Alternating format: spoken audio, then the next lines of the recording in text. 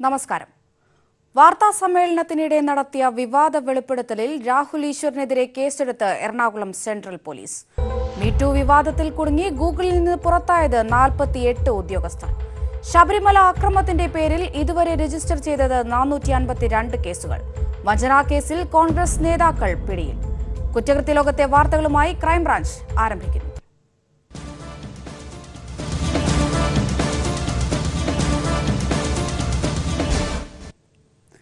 മീറ്റുവിൽ കുടുങ്ങി ഗൂഗിൾ ഉദ്യോഗസ്ഥരും. ലൈംഗികാരോപണങ്ങളെ തുടർന്ന് ഇതുവരെ നാൽപ്പത്തിയെട്ട് പേരെയാണ് ഗൂഗിളിൽ നിന്നും പുറത്താക്കിയത്. ഗൂഗിൾ മേധാവി സുന്ദർ പിച്ചയുടെ വെളിപ്പെടുത്തലാണ് ഉണ്ടായിരിക്കുന്നത്. കഴിഞ്ഞ രണ്ട് വർഷത്തിനിടെ ലൈംഗികാതിക്രമങ്ങളുടെ പേരിൽ ഗൂഗിളിൽ നിന്നും നാൽപ്പത്തിയെട്ട് ഉദ്യോഗസ്ഥരെയാണ് പുറത്താക്കിയത്. ഗൂഗിൾ മേധാവി സുന്ദർ പിച്ചയുടേതാണ് വെളിപ്പെടുത്തൽ. പുറത്താക്കിയ നാൽപ്പത്തിയെട്ട് പേരിൽ പതിമൂന്ന് സീനിയർ മാനേജർമാരും മുതിർന്ന പദവികൾ വഹിച്ചിരുന്നവരുമാണെന്ന് സുന്ദർ പിച്ചെ വ്യക്തമാക്കുന്നു. ആൻഡ്രോയിഡിന്റെ പിതാവ് ആൻഡി റൂബിനെ ലൈംഗികാരോപണങ്ങളെ തുടർന്നാണ് ഗൂഗിൾ പുറത്താക്കിയതെന്നും വെളിപ്പെടുത്തലുണ്ടായി. രണ്ടായിരത്തി പതിനാല് ഒക്ടോബറിലായിരുന്നു റൂബിൻ ഗൂഗിളിൽ നിന്നും പുറത്താക്കപ്പെട്ടത്. ലൈംഗിക അതിക്രമത്തിന്റെ പേരിൽ ആരോപണ വിധേയരായ മൂന്ന് മുതിർന്ന ഉദ്യോഗസ്ഥരെ ഗൂഗിൾ സംരക്ഷിക്കുന്നുവെന്നും കമ്പനിയിൽ നിന്നും പുറത്തുപോകാൻ വൻ തുക വാഗ്ദാനം ചെയ്തുവെന്നുമുള്ള ന്യൂയോർക്ക് ടൈംസിന്റെ വാർത്തയ്ക്ക് പിന്നാലെയാണ് ജീവനക്കാർക്ക് അയച്ച ഇമെയിൽ സന്ദേശത്തിൽ പിച്ചൈ ഇക്കാര്യം വ്യക്തമാക്കിയത്.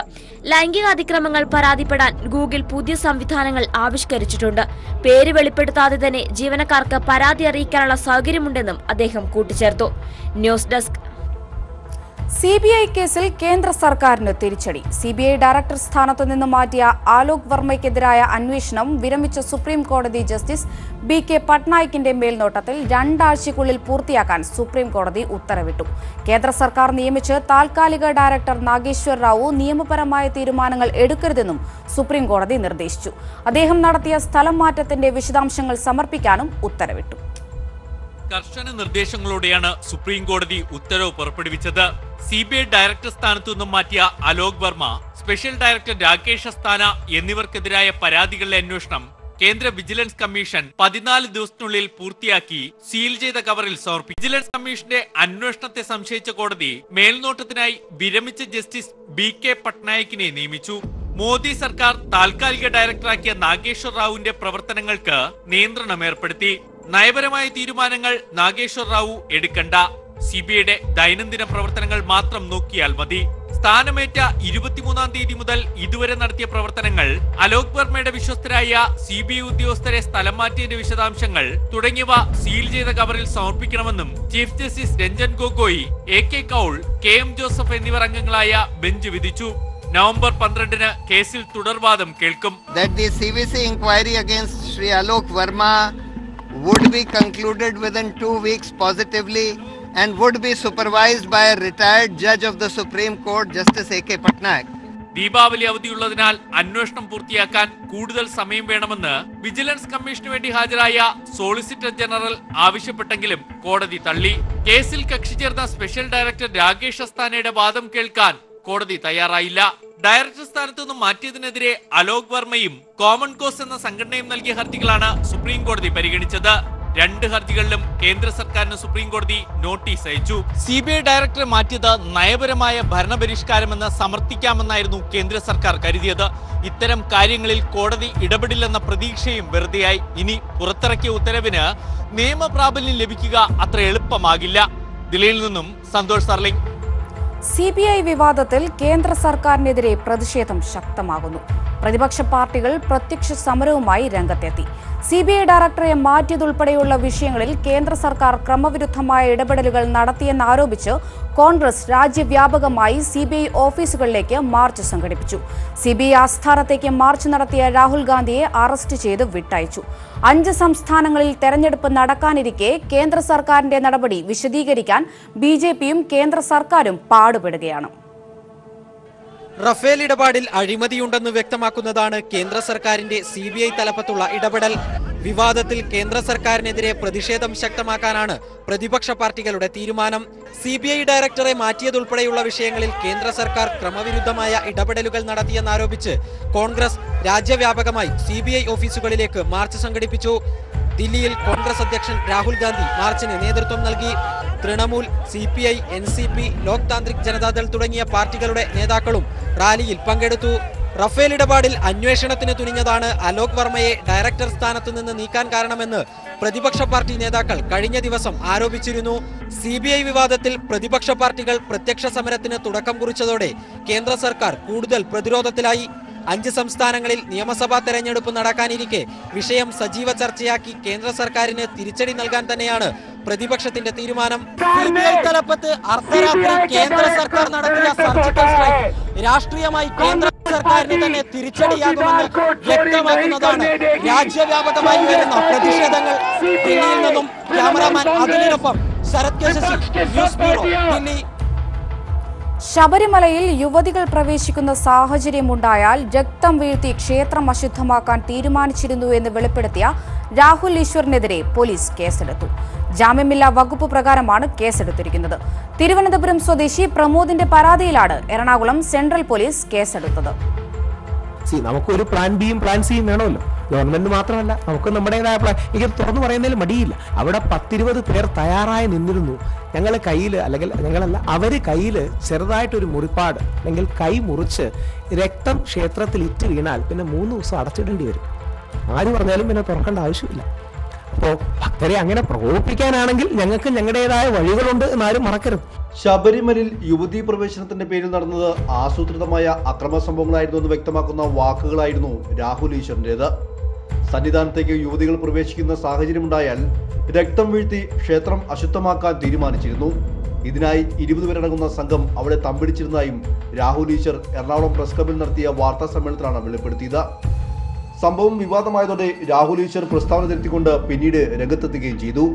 എന്നാൽ അക്രമം അഴിച്ചുവിടാൻ ഗൂഢാലോചന നടത്തിയ രാഹുൽ ഈശ്വറിനെതിരെ എറണാകുളം സെൻട്രൽ പോലീസ് കേസെടുത്തു. തിരുവനന്തപുരം പുല്ലുവിളയിൽ സ്വദേശി പ്രമോദിന്റെ പരാതിയിൽ ജാമ്യമില്ലാ വകുപ്പ് പ്രകാരമാണ് കേസെടുത്തിരിക്കുന്നത്. സെക്ഷൻ നൂറ്റി പതിനെട്ട് നൂറ്റി അമ്പത്തിമൂന്ന് എ വിഭാഗീതി സൃഷ്ടിക്കൽ മതസ്പർദ്ധ വളർത്തൽ ജനങ്ങൾക്കിടയിൽ ഭിന്നത ഉണ്ടാക്കുക തുടങ്ങിയ കുറ്റങ്ങളാണ് ചുമത്തിയിരിക്കുന്നത്. ശബരിമലയിൽ സ്ത്രീ പ്രവേശനം തടഞ്ഞതിനെ തുടർന്ന് അറസ്റ്റിലായ രാഹുൽ ഈശ്വർ നിലവിൽ ജാമ്യത്തിലാണ്. News bureau Kochi. ബാർകോഴ കേസിൽ ഹർജികളുമായി കെ എം മാണിയും വി എസ് അച്യുതാനന്ദനും ഹൈക്കോടതിയിൽ. മാണിക്കെതിരെ തെളിവില്ലെന്ന വിജിലൻസിന്റെ റിപ്പോർട്ട് തള്ളിയ തിരുവനന്തപുരം വിജിലൻസ് കോടതി മൂന്നാമതും തുടരന്വേഷണത്തിന് ഉത്തരവിട്ടിരുന്നു.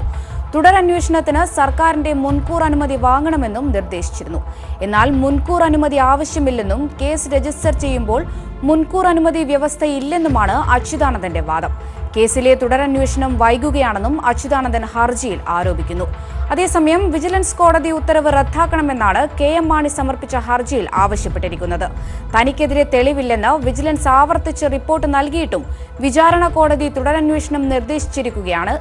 ഈ ഉത്തരവ് റദ്ദാക്കണമെന്ന് ഹർജിയിൽ ആവശ്യപ്പെടുന്നു. രണ്ട് ഹർജികളും കോടതി അടുത്ത ആഴ്ച പരിഗണിക്കും.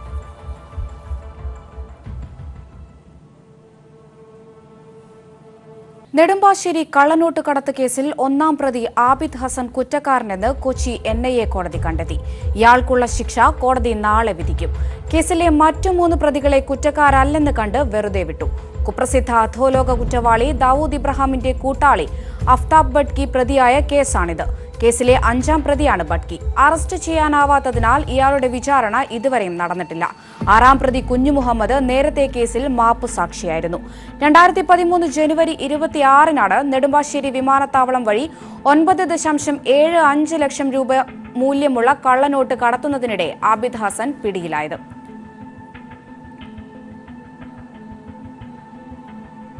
ശബരിമലയിലെ അക്രമത്തിന്റെ പേരിൽ ഇതുവരെ നാനൂറ്റി അൻപത്തിരണ്ട് കേസുകൾ രജിസ്റ്റർ ചെയ്തു. രണ്ടായിരത്തി അറുപത്തിയൊന്ന് പേരെ അറസ്റ്റ് ചെയ്തു. ആയിരത്തി അഞ്ഞൂറ് പേരെ ജാമ്യത്തിൽ വിട്ടു. ശബരിമല അക്രമ സംഭവങ്ങളുമായി ബന്ധപ്പെട്ട് സംസ്ഥാനത്ത് വ്യാപക റെയ്ഡും അറസ്റ്റും തുടരുകയാണ്. ശബരിമല സന്നിധാനം പമ്പ നിലയ്ക്കൽ കാനനപാത എന്നിവിടങ്ങളിൽ അക്രമം നടത്തുകയും സുപ്രീം കോടതി വിധി അട്ടിമറിച്ച് യുവതികളെ തടയാൻ ശ്രമിക്കുകയും ചെയ്ത രണ്ടായിരത്തി അറുപത്തിയൊന്ന് പേരെയാണ് ഇതുവരെ അറസ്റ്റ് ചെയ്തത്. ഇന്നലെ രാത്രി മാത്രം എഴുന്നൂറ് പേരെ അറസ്റ്റ് ചെയ്തു. അറസ്റ്റിലായവരിൽ സ്ത്രീകളും ഉൾപ്പെടും. നാനൂറ്റി അൻപത്തിരണ്ട് കേസുകളാണ് ഇതുവരെ രജിസ്റ്റർ ചെയ്തിരിക്കുന്നത്. ആയിരത്തി അഞ്ഞൂറ് പേരെ ജാമ്യത്തിൽ വിട്ടയച്ചു. നിരവധി വാഹനങ്ങളും മൊബൈൽ ഫോണുകളും പോലീസ് ഇവരിൽ നിന്നും പിടിച്ചെടുത്തിട്ടുണ്ട്. നിലയ്ക്കലിൽ പോലീസിനും മാധ്യമങ്ങൾക്കുമെതിരെ അക്രമം അഴിച്ചുവിട്ട ഇരുന്നൂറ്റി പത്ത് പേരുടെ ഫോട്ടോ കഴിഞ്ഞ ദിവസം പോലീസ് പുറത്തുവിട്ടിരുന്നു. ഇവരിൽ പലരും അറസ്റ്റിലായിട്ടുണ്ട്. ചിലർ ഒളിവിലുമാണ്. ഇവർക്ക് വേണ്ടിയുള്ള തെരച്ചിൽ പോലീസ് ഊർജിതമാക്കിയിട്ടുണ്ട്. ജില്ലാ പോലീസ് മേധാവികളുടെ നേതൃത്വത്തിൽ പ്രത്യേക സംഘമാണ് കേസ് അന്വേഷിച്ചു വരുന്നത്. News bureau Thiruvananthapuram. കുരുക്കുമുറുക്കി police Sabarimala സംഘർഷത്തിൽ അറസ്റ്റിലായവർ ജാമ്യത്തിന് നൽകേണ്ടി വരിക പതിമൂന്ന് ലക്ഷം രൂപ വരെയായിരിക്കും. ശബരിമലയിൽ പത്തിനും അൻപതിനുമിടയിൽ പ്രായമുള്ള സ്ത്രീകൾ പ്രവേശിക്കുന്നതിനെ എതിർത്ത് നടത്തിയ സംഘർഷത്തിൽ അറസ്റ്റിലായവർക്ക് കുരുക്കുമുറുകും. പൊതുമുതൽ നശിപ്പിച്ച കേസിൽ അകത്തായവർ ജാമ്യം ലഭിക്കണമെങ്കിൽ പതിനായിരം രൂപ മുതൽ പതിമൂന്ന് ലക്ഷം രൂപ വരെ കെട്ടിവെക്കേണ്ടി വരും. സംഘർഷത്തിൽ പോലീസ് വാഹനങ്ങളും K S R T C ബസ്സുകളും സമരക്കാർ തകർത്തിരുന്നു. സന്നിധാനം ഓഫീസറായ എസ് പി അജിത്തിന്റെ വാഹനം പ്രതിഷേധക്കാർ കൊക്കയിലേക്ക് തള്ളിയിട്ടിരുന്നു. സംഭവത്തിൽ ഒൻപത് പേരെയാണ് പോലീസ് പ്രതി ചേർത്തിരിക്കുന്നത്. ഇവർ ജാമ്യം ലഭിക്കണമെങ്കിൽ പതിമൂന്ന് ലക്ഷം കെട്ടിവെക്കേണ്ടി വരും. നിലയ്ക്കലിലും പമ്പയിലും വലിയ തോതിലാണ് പ്രതിഷേധക്കാർ വാഹനങ്ങൾ ആക്രമിച്ചത്. മാധ്യമങ്ങളുടെയും സർക്കാരിന്റെയും പോലീസിന്റെയും വാഹനങ്ങൾ ഇവിടെ പ്രതിഷേധക്കാർ നശിപ്പിച്ചിരുന്നു. ഈ കേസിൽ അറസ്റ്റിലായവർക്ക് ജാമ്യം ലഭിക്കണമെങ്കിൽ കുറഞ്ഞത് എട്ട് ലക്ഷം രൂപ കെട്ടിവെക്കേണ്ടി വരുമെന്നാണ് പ്രതീക്ഷിക്കുന്നത്. ഇവരുടെ ജാമ്യത്തുക നിശ്ചയിക്കുന്നത് കോടതിയായിരിക്കും. ഇന്നും ശബരിമലയിലെ സംഘർഷങ്ങളുടെ പേരിൽ സംസ്ഥാനത്ത് വ്യാപകമായ അറസ്റ്റാണ് നടന്നിരിക്കുന്നത്. ഇന്നലെ മാത്രം എഴുന്നൂറിലധികം പേരെയാണ് വിഷയവുമായി ബന്ധപ്പെട്ട് പോലീസ് അറസ്റ്റ് ചെയ്തത്. News desk people T V. വഞ്ചനാ കേസിൽ കോൺഗ്രസ് നേതാവ് പിടിയിൽ. തമ്മനം സ്വദേശി ഒ ടി ഷാജിയെയാണ് കൊച്ചി സൗത്ത് പോലീസ് അറസ്റ്റ് ചെയ്തത്. കൊച്ചിയിൽ കോൺഗ്രസ് സംഘടിപ്പിച്ച സി ബി ഐ ഓഫീസ് മാർച്ചിനിടെയാണ് ഇയാളെ പിടികൂടിയത്. ഇയാൾക്കെതിരെ നേരത്തെ അഞ്ച് കേസുകൾ നിലവിലുള്ളതായി പോലീസ് അറിയിച്ചു. എറണാകുളം കുമ്പളങ്ങി സ്വദേശികളുടെ പരാതിയിലാണ് Congress I N T U C പ്രാദേശിക നേതാവായ ഒ ടി ഷാജിയെ സൗത്ത് പോലീസ് അറസ്റ്റ് ചെയ്തത്. മലേഷ്യയിൽ ജോലി വാഗ്ദാനം ചെയ്ത എട്ട് പേരിൽ നിന്നായി ആറ് ലക്ഷം രൂപ തട്ടിയെടുത്തുവെന്നായിരുന്നു പരാതി. തമ്മനം സ്വദേശി ഷാജിയും ആലപ്പുഴ സ്വദേശി ജോസിയും ചേർന്നാണ് പണം വാങ്ങിയതെന്നും പരാതിയിൽ പറയുന്നു. ഞങ്ങൾ മലേഷ്യക്ക് ഒരു കാർ കമ്പനിയിൽ ജോലി വാഗ്ദാനം ചെയ്തിട്ടാണ് കൊണ്ടുപോയത്. കൊണ്ടുപോയിട്ട് അവിടെ ചെന്നിട്ട് അവിടെ എയർപോർട്ടിൽ ചെന്നിട്ട് ഞങ്ങൾ വേറൊരു ഒരു മലേഷ്യക്കാരനെ വിറ്റ് കളഞ്ഞേക്കണാണ് ശരിക്കും. വിറ്റ് കളഞ്ഞിട്ട് പറഞ്ഞാൽ ഒരു വർക്ക്ഷോപ്പിന്റെ അകത്ത് ഞങ്ങൾ മൂന്ന് പേരെയും കുടിക്കിയതാണ് ഇട്ടിട്ട്. പിന്നെ ഒരു ബന്ധവും പുറത്താരോട് ഒരു ബന്ധം ഉണ്ടായിരുന്നില്ല. ഇതേ തുടർന്ന് കേസെടുത്ത സൗത്ത് പോലീസ് ജോസിയെ നേരത്തെ തന്നെ അറസ്റ്റ് ചെയ്തിരുന്നു. ഇതിനിടെ ജില്ലാ Congress committee C B I ഓഫീസിലേക്ക് മാർച്ച് നടത്തിയിരുന്നു. ഈ മാർച്ചിൽ പങ്കെടുക്കുകയായിരുന്ന ഷാജിയെ പോലീസ് പിടികൂടി അറസ്റ്റ് ചെയ്യുകയായിരുന്നു. ഇയാൾക്കെതിരെ സൗത്ത് പോലീസ് സ്റ്റേഷനിൽ അഞ്ച് കേസുകൾ നിലവിലുള്ളതായി പോലീസ് അറിയിച്ചു. നാനൂറ്റിയാറ് നാനൂറ്റി ഇരുപത് വകുപ്പുകൾ പ്രകാരമുള്ള കുറ്റങ്ങളാണ് ഷാജിക്കെതിരെ ചുമത്തിയിരിക്കുന്നത്. News bureau Kochi. മുൻ ധനമന്ത്രി പി ചിദംബരത്തെ ഒന്നാം പ്രതിയാക്കി എയർസെൽ മാക്സിസ് കേസിൽ എൻഫോഴ്സ്മെന്റ് അനുബന്ധ കുറ്റപത്രം സമർപ്പിച്ചു. സിംഗപ്പൂർ ആസ്ഥാനമായ കമ്പനിക്ക് അറുന്നൂറ് കോടി രൂപയുടെ നിക്ഷേപം നടത്താൻ ചട്ടം മറികടന്ന് ചിദംബരം അനുമതി നൽകിയെന്നാണ് കുറ്റപത്രം. സിബിഐ പ്രത്യേക കോടതി നവംബർ ഇരുപത്തിയാറിന് കുറ്റപത്രം പരിഗണിക്കും. ടു ജി സ്പെക്ട്രം കഴിഞ്ഞാൽ രണ്ടാം യു പി എസ് സർക്കാരിന്റെ അഴിമതി കേസുകളിൽ പ്രധാനപ്പെട്ടതാണ് എയർസെൽ മാക്സിസ് ഇടപാട്. മുൻ ധനമന്ത്രി പി ചിദംബരത്തെ ഒന്നാം പ്രതിയാക്കി അദ്ദേഹത്തിന്റെ ചാർട്ടേഡ് അക്കൗണ്ട് അടക്കം ഒൻപത് പേരെ കൂടി ഉൾപ്പെടുത്തി എൻഫോഴ്സ്മെന്റ് കുറ്റപത്രം സമർപ്പിച്ചു. ദില്ലി പട്യാല കോടതിയിലെ സി ബി ഐ പ്രത്യേക ജഡ്ജി ഒ പി സൈനിക്ക് മുമ്പിൽ സമർപ്പിച്ച കുറ്റപത്രം അടുത്ത മാസം ഇരുപത്തിയാറിന് വാദത്തിനെടുക്കും. മുംബൈ ആസ്ഥാനമായി പ്രവർത്തിക്കുന്ന എയർസെൽ കമ്പനിക്ക് അറുന്നൂറ് കോടിയുടെ വിദേശ നിക്ഷേപം സിംഗപ്പൂരിൽ നിന്നും സ്വീകരിക്കാൻ ധനമന്ത്രിയായിരിക്കെ പി ചിദംബരം ചട്ടം ലംഘിച്ച് ഫോറിൻ ഇൻവെസ്റ്റ്മെന്റ് പ്രൊമോഷൻ ബോർഡിന്റെ അനുമതി നൽകിയെന്ന് കുറ്റപത്രത്തിൽ ചൂണ്ടിക്കാട്ടുന്നു. ഇതേ കേസിൽ ചിദംബരത്തിന്റെ മകൻ കാർത്തി ചിദംബരത്തെ പ്രതിയാക്കി കഴിഞ്ഞ ജൂണിൽ കുറ്റപത്രം സമർപ്പിച്ചിരുന്നു. ഇടപാട് നടത്താൻ കാർത്തി ചിദംബരം കോഴ കൈപ്പറ്റിയെന്ന് കണ്ടെത്തിയതിനെ തുടർന്നാണിത്. അച്ഛനെയും മകനെയും നവംബർ ഒന്ന് വരെ അറസ്റ്റ് ചെയ്തെന്ന കോടതി നിർദ്ദേശമുണ്ട്. ഇതിനിടയിലാണ് പുതിയ അനുബന്ധ കുറ്റപത്രം. എൻഫോഴ്സ്മെന്റ് ഡയറക്ടർ കർണാൽ സിംഗിന്റെ കാലാവധി നാളെ അവസാനിക്കാനിരിക്കെയാണ്. എൻഫോഴ്സ്മെന്റ് തിടുക്കത്തിൽ കുറ്റപത്രം സമർപ്പിച്ചത്. എയർസെൽ മാക്സിസ് ഇടപാടിൽ മുൻ ടെലികോം മന്ത്രി ദയാനിധിമാരൻ സഹോദരൻ കലാനിധിമാരൻ തുടങ്ങിയവരെ പ്രതി ചേർത്തിരുന്നെങ്കിലും തെളിവില്ലെന്നതിനെ തുടർന്ന് കുറ്റപത്രത്തിൽ നിന്നും ഒഴിവാക്കിയിരുന്നു. News bureau Delhi. വിദ്യാർത്ഥി സംഘർഷത്തെ തുടർന്ന് Kasaragod L B S engineering college താൽക്കാലികമായി അടച്ചു. വിദ്യാർത്ഥി യൂണിയൻ തെരഞ്ഞെടുപ്പിനെ തുടർന്നാണ് സംഘർഷമുണ്ടായത്. M S F Muslim League പ്രവർത്തകർ കോളേജ് ബസ് ആക്രമിച്ചതിനെ തുടർന്ന് നിരവധി വിദ്യാർത്ഥികളെ പരുക്കുകളോടെ ആശുപത്രിയിൽ പ്രവേശിപ്പിച്ചു. ചെറിയ ഇടവേളയ്ക്ക് ശേഷം Kasaragod L B S engineering കോളേജിൽ വീണ്ടും വിദ്യാർത്ഥി സംഘർഷം. വിദ്യാർത്ഥി യൂണിയൻ തെരഞ്ഞെടുപ്പിൽ K S U M S F സഖ്യമാണ് വിജയിച്ചത്. സ്വതന്ത്രമായി വോട്ട് ചെയ്യാൻ വിദ്യാർത്ഥികളെ അനുവദിച്ചില്ലെന്ന് എസ് എഫ് ഐ ആരോപിച്ചു. K S U M S F പ്രവർത്തകർ വിദ്യാർത്ഥികൾക്ക് നേരെ വ്യാപകമായ ആക്രമണമാണ് അഴിച്ചുവിട്ടത്. ചെർക്കളയിൽ മുസ്ലിം ലീഗുകാരുടെ സഹായത്തോടെയായിരുന്നു ആക്രമണം. തുടർന്ന് കോളേജിൽ നടന്ന സംഘർഷം തടയാനെത്തിയ പോലീസിന് നേരെയും കല്ലേറുണ്ടായി. കാഞ്ഞങ്ങാട്ടേക്ക് പോകുകയായിരുന്ന എൽ ബി എസ് എഞ്ചിനീയറിംഗ് കോളേജിന്റെ ബസ് പിന്തുടർന്നും എം എസ് എഫ് ലീഗ് പ്രവർത്തകർ വിദ്യാർത്ഥികളെ ആക്രമിച്ചു. മൈലാട്ടിയിൽ ബസ് തടഞ്ഞിട്ട് നടത്തിയ ആക്രമണത്തിൽ നിരവധി വിദ്യാർത്ഥികൾക്ക് പരിക്കേറ്റു. കോളേജ് ബസിന്റെ ചില്ലുകൾ അക്രമികൾ തകർത്തു. പരിക്കേറ്റ വിദ്യാർത്ഥികളെ കാഞ്ഞങ്ങാട്ടെ ജില്ലാ ആശുപത്രിയിലും മംഗളൂരുവിലെ സ്വകാര്യ ആശുപത്രിയിലും പ്രവേശിപ്പിച്ചു. സംഘർഷത്തെ തുടർന്ന് അടച്ച L B S engineering college തിങ്കളാഴ്ച വീണ്ടും തുറക്കും. കോളേജ് ക്യാമ്പസിൽ പോലീസിനെ വിന്യസിച്ചിട്ടുണ്ട്. News bureau Kasaragod. അന്ധവിശ്വാസത്തിന്റെ പേര് പറഞ്ഞ് വീണ്ടും ക്രൂരത. പരപുരുഷന്മാരുമായി ബന്ധമില്ലെന്ന് തെളിയിക്കാൻ അമ്മായിയമ്മ മരുമകളെ അഗ്നിപരീക്ഷയ്ക്ക് ഇരയാക്കി. ഉത്തർപ്രദേശിലെ മധുര സ്വദേശിനി സുമാനിക്കാണ് ഭർത്തൃമാതാവിൽ നിന്നും അഗ്നിപരീക്ഷ നേരിടേണ്ടി വന്നത്. വീടിനടുത്തുള്ള മന്ത്രവാദിയുടെ നിർദ്ദേശപ്രകാരമാണ് അമ്മായിയമ്മ മരുമകളുടെ കൈവെള്ളയിൽ വിറകുകൊള്ളികൊണ്ട് ക്രൂരമായി പൊള്ളിച്ചത്. കൈ പൊള്ളിയില്ലെങ്കിൽ വ്യഭിചരിച്ചിട്ടില്ലെന്ന് വിശ്വസിക്കാമെന്നാണ് മന്ത്രവാദി പറഞ്ഞതെന്നും അയാളുടെ വാക്കുകേട്ട് ഭർത്തൃമാതാവ് കൈ പൊള്ളിക്കുകയായിരുന്നു എന്നും യുവതി പോലീസിന് നൽകിയ പരാതിയിൽ പറയുന്നു. സ്ത്രീധനത്തിന്റെ പേരും പറഞ്ഞ് അമ്മായിയമ്മ തന്നെ നിരന്തരം ദേഹോപദ്രവം ചെയ്യുകയും മോശം വാക്കുകൾ പറയുകയും ചെയ്തിരുന്നതായും സുമാനി പരാതിയിൽ പറയുന്നു. കഴിഞ്ഞ വർഷം മാർച്ചിലാണ് മധുര സ്വദേശിയായ ജയ്വീറും സുമാനിയും തമ്മിലുള്ള വിവാഹം നടക്കുന്നത്. രണ്ടു വീട്ടുകാരുടെയും സമ്മതപ്രകാരമുള്ള വിവാഹമായിരുന്നു അത്. അന്നേ ദിവസം തന്നെ സുമാനിയുടെ സഹോദരി പുഷ്പയും ജേവിയറിന്റെ സഹോദരൻ യശ്വീറുമായുള്ള വിവാഹവും നടന്നിരുന്നു. വിവാഹം കഴിഞ്ഞ് ആറുമാസം തികയുന്നതിനു മുമ്പേ തന്നെ ജയവീറിന്റെ അമ്മ സുമാനിയെ വ്യഭിചാരം ചെയ്യുന്നവളാണെന്നാരോപിച്ച് നിരന്തരം പീഡിപ്പിക്കാൻ തുടങ്ങി. ഒരിക്കൽ താൻ ഉറങ്ങിക്കിടന്നപ്പോൾ ഭർത്താവ് കത്തികൊണ്ട് തന്റെ കൈത്തണ്ട മുറിച്ചുവെന്നും കൊല്ലാൻ ശ്രമിച്ചുവെന്നും സുമാനി പരാതിയിൽ പറയുന്നു. സംഭവത്തിൽ പോലീസ് അന്വേഷണം ആരംഭിച്ചു. News desk people T V. പതിനഞ്ച് വർഷങ്ങൾക്ക് മുൻപ് അഹമ്മദാബാദിൽ വാലന്റൈൻസ് ഡേയിൽ ഭാര്യയെ കഴുത്ത് ഞെരിച്ച് കൊലപ്പെടുത്തിയ ശേഷം മുങ്ങിയ ഭർത്താവ് ബംഗളൂരുവിൽ പിടിയിലായി.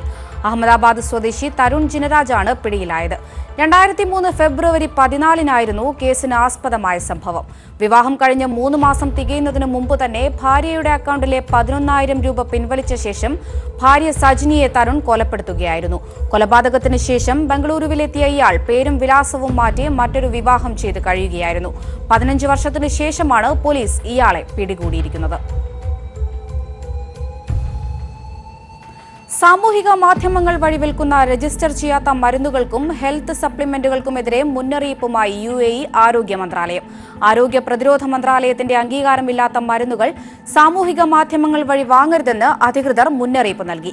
അമേരിക്കയിലെ ഹെൽത്ത് സപ്ലിമെന്റ് ഉൽപ്പന്നങ്ങളുടെ നിർമ്മാതാക്കളായ എയ്റ്റ് ആൻഡ് കമ്പനി സ്പ്രയോളജി ആൻഡ് കിങ് ബയോ തുടങ്ങിയവയുടെ മരുന്നുകളിൽ സൂക്ഷ്മാണുബാധ കണ്ടതിനെ തുടർന്ന് മുന്നറിയിപ്പ് നൽകിയിരുന്നു. പകർച്ചപ്പനി തുടങ്ങിയ അസുഖങ്ങൾക്ക് ഇത്തരം മരുന്നുകൾ വ്യാപകമായി ഓൺലൈൻ വഴി വിൽക്കുന്നതായി കണ്ടെത്തിയിട്ടുണ്ട്. ഈ സാഹചര്യത്തിലാണ് യു എയിലും അധികൃതർ മുന്നറിയിപ്പ് നൽകുന്നത്.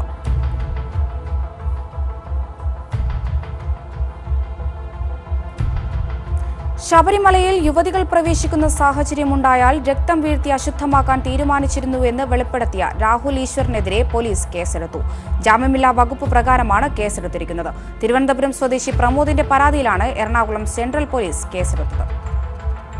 സി നമുക്കൊരു പ്ലാൻ ബിയും പ്ലാൻ സിയും വേണമല്ലോ. ഗവൺമെന്റ് മാത്രമല്ല നമുക്ക് നമ്മുടേതായ പ്ലാൻ എനിക്ക് തുറന്നു പറയുന്നതിൽ മടിയില്ല. അവിടെ പത്തിരുപത് പേർ തയ്യാറായി നിന്നിരുന്നു. ഞങ്ങൾ കയ്യിൽ അല്ലെങ്കിൽ ഞങ്ങളല്ല അവർ കയ്യിൽ ചെറുതായിട്ടൊരു മുറിപ്പാട് അല്ലെങ്കിൽ കൈ മുറിച്ച് രക്തം ക്ഷേത്രത്തിൽ ഇറ്റ് വീണാൽ പിന്നെ മൂന്ന് ദിവസം അടച്ചിടേണ്ടി വരും. ആര് പറഞ്ഞാലും പിന്നെ തുറക്കേണ്ട ആവശ്യമില്ല. ഭക്തരെ അങ്ങനെ പ്രകോപിപ്പിക്കാനാണെങ്കിൽ ഞങ്ങൾക്ക് ഞങ്ങളുടേതായ വഴികളുണ്ട് എന്നാരും മറക്കരുത്. ശബരിമലയിൽ യുവതീ പ്രവേശനത്തിന്റെ പേരിൽ നടന്നത് ആസൂത്രിതമായ അക്രമ സംഭവങ്ങളായിരുന്നു എന്ന് വ്യക്തമാക്കുന്ന വാക്കുകളായിരുന്നു രാഹുൽ ഈശ്വറിന്റെത് സന്നിധാനത്തേക്ക് യുവതികൾ പ്രവേശിക്കുന്ന സാഹചര്യമുണ്ടായാൽ രക്തം വീഴ്ത്തി ക്ഷേത്രം അശുദ്ധമാക്കാൻ തീരുമാനിച്ചിരുന്നു. ഇതിനായി ഇരുപത് പേരടങ്ങുന്ന സംഘം അവിടെ തമ്പിടിച്ചിരുന്നതായും രാഹുൽ ഈശ്വർ എറണാകുളം പ്രസ് ക്ലബിൽ നടത്തിയ വാർത്താ സമ്മേളനത്തിലാണ് വെളിപ്പെടുത്തിയത്. സംഭവം വിവാദമായതോടെ രാഹുൽ ഈശ്വർ പ്രസ്താവന തിരുത്തിക്കൊണ്ട് പിന്നീട് രംഗത്തെത്തുകയും ചെയ്തു. എന്നാൽ അക്രമം അഴിച്ചുവിടാൻ ഗൂഢാലം നടത്തിയ രാഹുൽ ഈശ്വറിനെതിരെ എറണാകുളം സെൻട്രൽ പോലീസ് കേസെടുത്തു. തിരുവനന്തപുരം പുല്ലുവിളയിൽ സ്വദേശി പ്രമോദിന്റെ പരാതിയിൽ ജാമ്യമില്ലാ വകുപ്പ് പ്രകാരമാണ് കേസെടുത്തിരിക്കുന്നത്. സെക്ഷൻ നൂറ്റി പതിനെട്ട് നൂറ്റി അമ്പത്തിമൂന്ന് എ വിഭാഗീതി സൃഷ്ടിക്കൽ മതസ്പർദ്ധ വളർത്തൽ ജനങ്ങൾക്കിടയിൽ ഭിന്നത ഉണ്ടാക്കുക തുടങ്ങിയ കുറ്റങ്ങളാണ് ചുമത്തിയിരിക്കുന്നത്. ശബരിമലയിൽ സ്ത്രീ പ്രവേശനം തടഞ്ഞതിനെ തുടർന്ന് അറസ്റ്റിലായ രാഹുൽ ഈശ്വർ നിലവിൽ ജാമ്യത്തിലാണ് ന്യൂസ് ബ്യൂറോ കൊച്ചി.